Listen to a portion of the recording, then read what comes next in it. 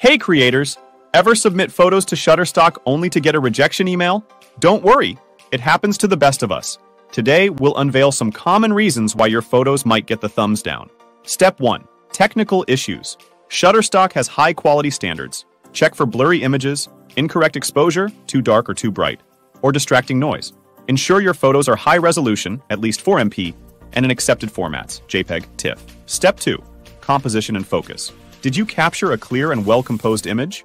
Off-center subjects, unbalanced framing, or softness due to camera shake or improper focus are all red flags. Remember, strong composition leads the viewer's eye and enhances the image. Step 3. Content relevance. Is your photo relevant to what people might search for? Generic office shots or overly staged photos are less likely to sell. Focus on capturing unique concepts, diverse subjects, and authentic moments. Step 4. Keywording mistakes. Keywords are crucial for discoverability. Did you use relevant keywords in your photo's title and description?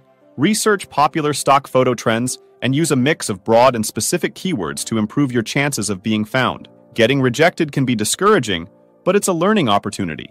Review these points and keep refining your photography skills. Shutterstock offers resources and contributor forums to help you improve. Thanks for watching.